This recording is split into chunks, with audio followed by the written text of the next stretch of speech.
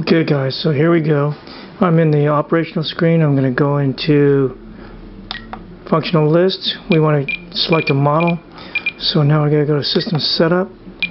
Yes. Model select. Blank screen. But I found out that if you scroll, there they are. But now you see those two unusable models in there. And there used to be only one. Now it would seem to be pro- progressing.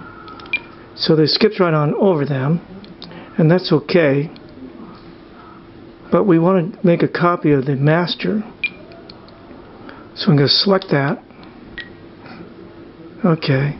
So now, let's just go down to, utilities, and we want to copy that.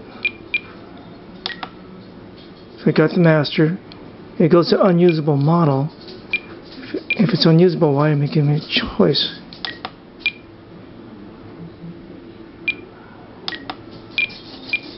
Can't do anything with it. Yeah, I can't even get it off there.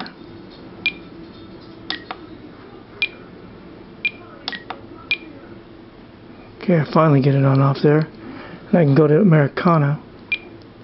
But I wanted to go to Master, uh, number 6 Acro, so let's do that.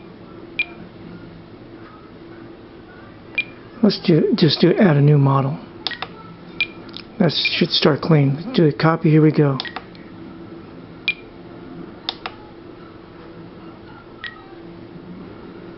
Now let's see. Let's, it took me back to the system setup. Should be able to get a model select.